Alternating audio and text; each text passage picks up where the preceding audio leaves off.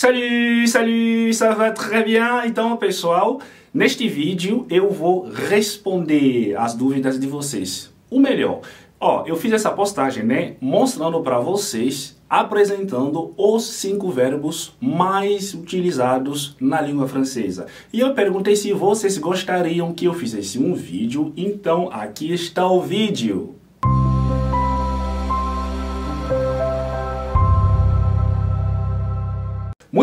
Você já sabe, né? Os cinco verbos mais utilizados na língua francesa. O primeiro verbo é être. Pessoal, eu falo tanto desse verbo, né, que eu chego a, achar que estou abusando, mas eu tenho que abusar mesmo, porque é o verbo mais utilizado na língua francesa. Eu arrisco dizer que se você não souber usar corretamente esse verbo, você nunca vai falar francês. É, porque é o verbo mais utilizado na língua francesa. Muito bem, être. Être significa ser ou estar. A gente usa esse verbo em várias situações. Por exemplo, você pode usar esse verbo para se localizar, falar onde você está. Se você agora está na França, você pode falar Je suis en France. Eu estou na França, entendeu? Aqui você está se localizando. Je suis en France. Eu estou na França. O segundo exemplo, você também pode usar le verbe être para falar do teu estado emocional. Se você está triste, feliz e sei lá o que, entendeu? Por exemplo, se você está contente, você pode falar Je suis content. Voilà! Agora, se você está muito feliz, você vai falar Je suis très content. Eu estou muito feliz, certo? Para você falar do teu estado emocional. Muito bem. De tão importante que esse verbo é, a gente ainda pode usar le verbe être para falar das nossas nacionalidades ou da sua nacionalidade. Eu posso falar, por exemplo, tu es brésilien. E se você é brasileira, tu es brésilienne. Você é brasileira, certo? Para falar da tua nacionalidade. E como se não bastasse, você ainda pode usar le verbe être para falar, por exemplo, da tua profissão. Você pode falar sobre mim. Ah, Abed é professeur de français.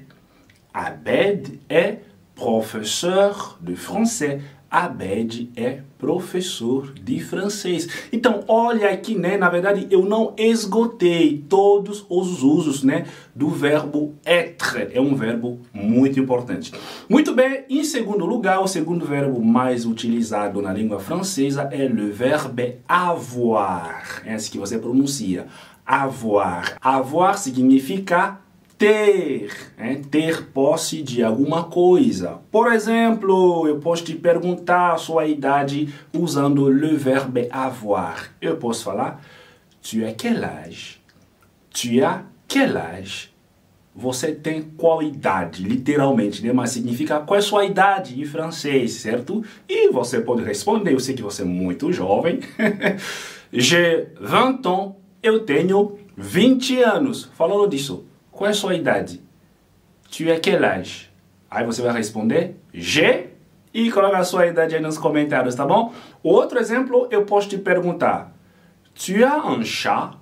Tu as un chat? Você tem um gato? Bom, se essa pergunta foi feita a mim, eu responderia: Não, je n'ai pas de chat. Eu não tenho gato. Mais j'ai un chien e une chienne. Eu tenho um cachorro e uma cachorra. Hein?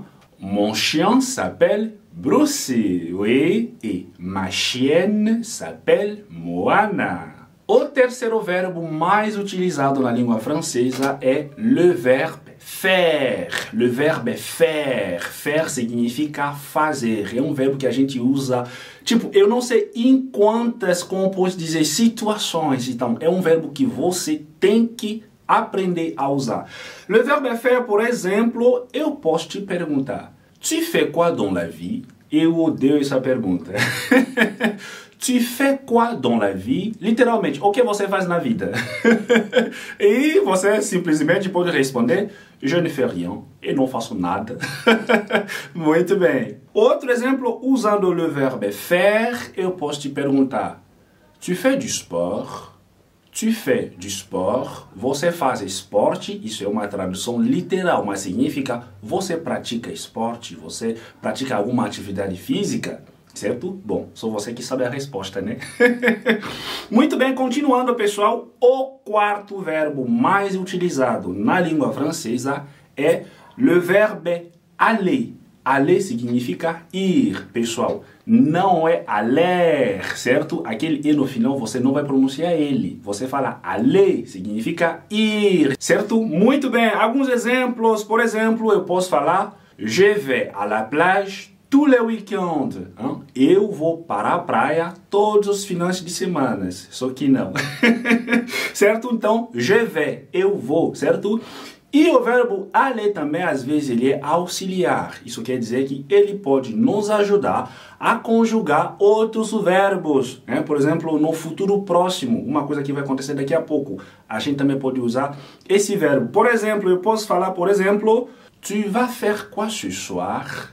Tu vas faire quoi ce soir? O que você vai fazer esta noite? Então, aqui, o verbo aller está sendo como auxiliar, está me auxiliando para conjugar o verbo fazer, faire. Tu vas faire quoi ce soir? O que você vai fazer esta noite, certo? Muito bem, pessoal. E para terminar, o quinto verbo mais utilizado na língua francesa é le verbe dire. Dire significa dizer, certo? Exemplo, je dis quoi à ta mère? Hein? Je dis quoi à ta mère? Literalmente, eu falo o que para sua mãe. É, podemos traduzir assim também. É? Eu falo o que para sua mãe. je dis quoi à ta mère? E se você está aprontando coisas erradas, por exemplo. certo? E outro exemplo, né? Usando le verbe dire, que significa dizer, eu posso falar Il ne dit que des bêtises. Il ne dit que des bêtises. Ele só fala besteiras. tá bom, pessoal? Foi lá a lista dos cinco verbos mais utilizados na língua francesa. Resumindo, o primeiro verbo é le verbe être, que significa ser ou estar. Depois, le verbe avoir, que significa ter. O terceiro, le verbe faire, que significa fazer. O quarto, le verbe aller, aller, que significa ir. E no quinto lugar, nós temos le verbe dire, que significa dizer.